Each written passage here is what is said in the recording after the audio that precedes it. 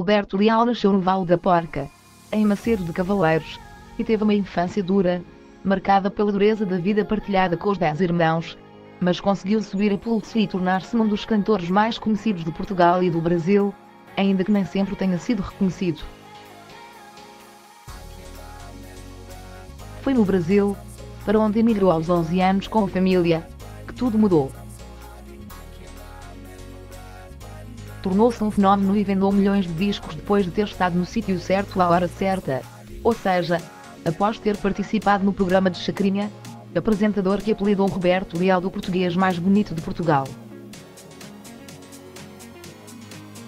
As portas da escada do sucesso abriram-se em 1971, depois de cantar a rebita na TV Globo.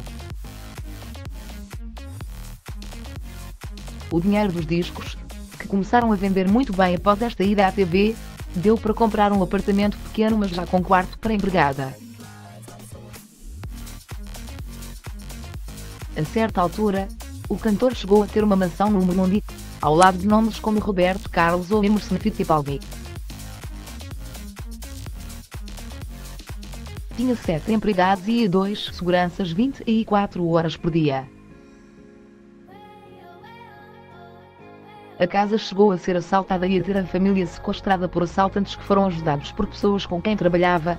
Roubaram carro, joias, roupa mas conseguiu evitar que fizessem mal à família.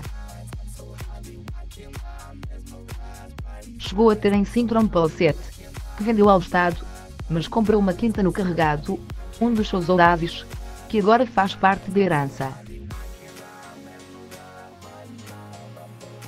Em São Paulo também tem propriedades. Além disso, os direitos de autor continuam também a render bom dinheiro, afinal, vendeu 17 milhões de discos e deu a mais de 5 mil concertos ao longo dos 48 anos de carreira. Atuou pela última vez a 12 de setembro, três dias antes de morrer.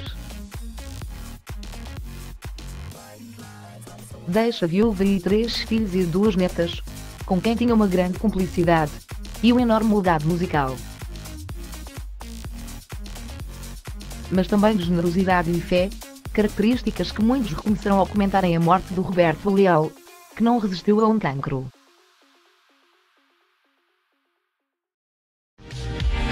Your friends all say it's